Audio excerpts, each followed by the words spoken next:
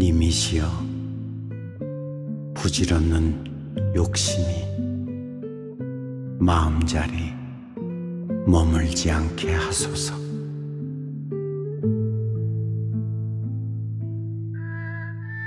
삶의 자리에서 가장 어리석은 길력으로 나 자신을 몰아놓지 않게 하소서. 산의 푸른같이 저 들녘의 풍요로운 모습같이 나무에 깊은 사랑을 배우고 꽃이 벌과 나비에게 베풀며 살듯 자연과 진실한 벗이 되며 더불어 사는 자연의 큰 지혜를 배우며 살게 하소서.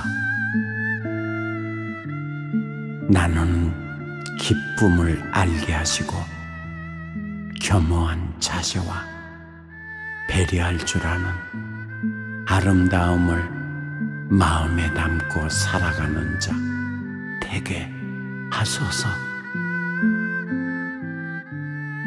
사랑의 자리를 사람의 자리를 올바르게 지키며 사람으로서 몸과 마음이 일치되고 사람 노릇 제대로 하고 참 사람으로 사는 자 되게 하소서. 삶의 이치를 바르게 터득하여 깨달음의 저 언덕으로 오를 그날만을 생각하며 더욱더 열심히 기도하는 마음으로 맑고 향기롭게 살아가게 하소서.